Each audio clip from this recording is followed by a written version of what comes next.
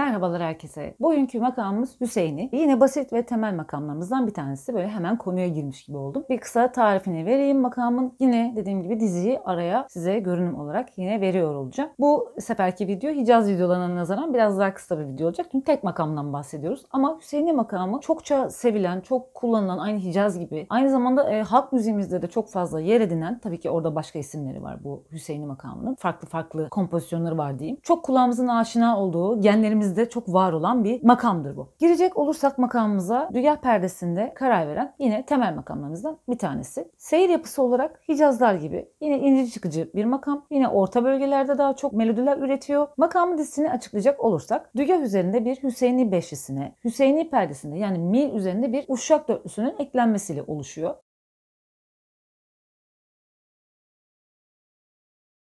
Her tarafı gördüğünüz gibi uşaklı, Hüseyinili şekilde dolaşan bir makamımız. Kulağa da çok hoş gelen bir makamdır. Beşli artı dörtlü şeklinde olduğu için güçlüsü ne oluyordu bu durumda? La, si, do, re, mi, Hüseyini beşlisi. Hüseyini perdesi makamımızın güçlüsü oluyor ve üzerinde Hüseyin'de uşaklı yarım karar yapılıyor. Tiz durağımız muhayyer perdesi yine la'da başlayıp la'da bittiği için. Bu makamın içerisinde bulunan perdelerin isimlerini verecek olursak Dügah, La, Si, koma bemolümüz var. Segah perdesi, Do, Çargah. Re, Neva, Mi, Hüseyini, Fa diyezimiz 4 komalık ev iç perdesi, Sol, Gerdaniye ve La muhayyer şeklinde oluyor. Bu makam bazı melodilerde, bazı eserlerde, inici namelerde fa diyezi atıp yerine bir fa natürel de konuyor olabilir. Bu durumda makamı Acemli Hüseyini dizisi diye tanımlamışlar. O inici namedeki o fa diyezin o geriye doğru çekilip pesleştiği haline böyle bir isim vermişler. Sıkça bu duruma rastlıyor olabilirsiniz. Bu makamın donanımına bir komalık segah perdesi si için, dört komalık da diyez koyuyoruz. Fa için, fa diyez için yani ev iç perdesini koyuyoruz. Türk müziğinde bu donanıma sahip olan birçok makamımız var. Hatta hatırlarsanız aynı donanım rast makamında da vardı. Yine bir komalık segah vardı. Dört komalık diyezimiz ev iç perdesi vardı. Ama o rasta karar verdiği için çok bariz bir şekilde rast makamı olduğunu anlayabilirdik. Bunu anlamak için ne yapıyoruz? Eserin karar perdesine bakıyoruz. Nerede bitmiş? Rast'ta bitmiş. O zaman büyük ihtimal rast oluyor. Ama la'da bittiyse la ile karar veren birçok makam var aynı donanımı kullanan. Bunun içinde nasıl anlayabiliriz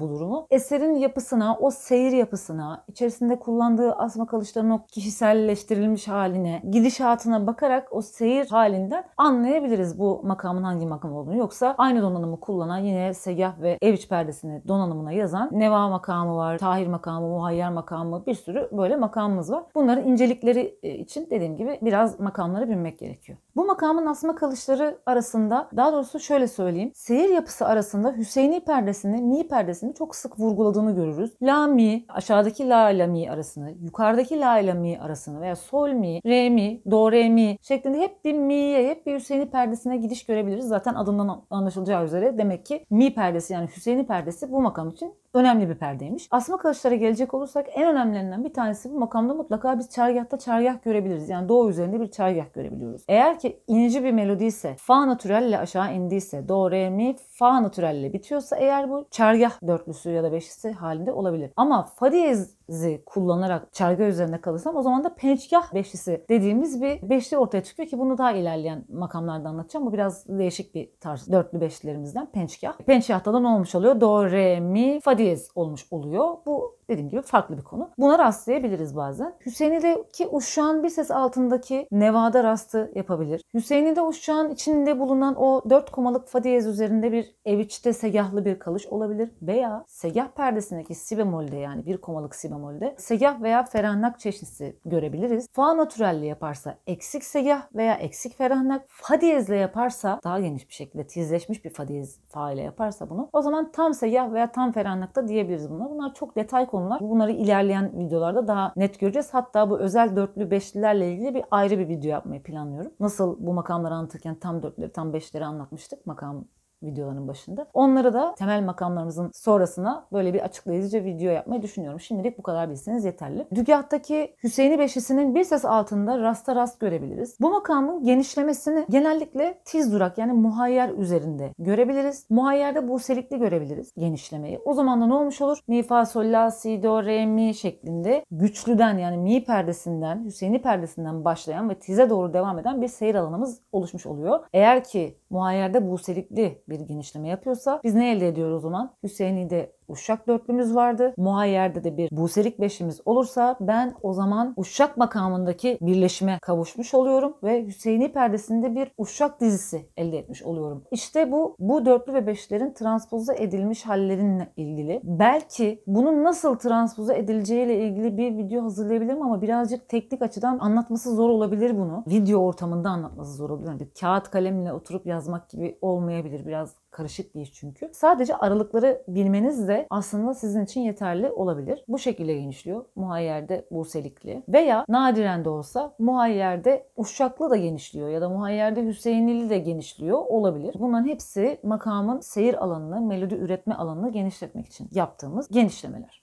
Hüseyin'i makamı genel hatlarıyla bu şekilde. Ben şimdi size yine bir e, ufak bir Hüseyin'i duyurayım. Ama siz yine de dediğim gibi saz eserlerini, şarkıları, taksimleri Hüseyin'i makamına ait olan dinlemeyi ihmal etmeyin. Eğer ki kafanızda kalsın melodiler istiyorsanız ya da daha zenginleştirmek istiyorsanız, enstrüman çalıyorsanız, şarkı söylüyorsanız mutlaka bu makamda ya da ilgilendiğiniz makamda eserler dinlemeyi lütfen ihmal etmeyin. İnsanın kulağına öyle çok iyi doluyor çünkü bu. Şimdi ben size bir ufak Hüseyin'i seslendireyim.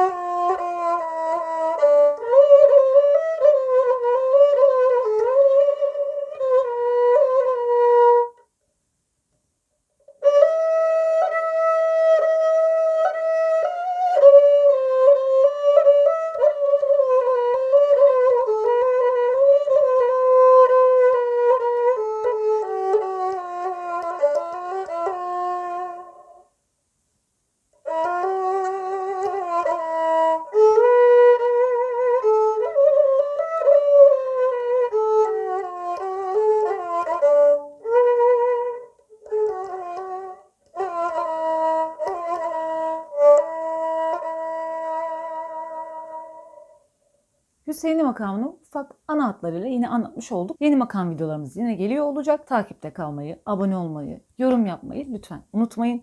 Kendinize çok iyi bakın. Hoşçakalın.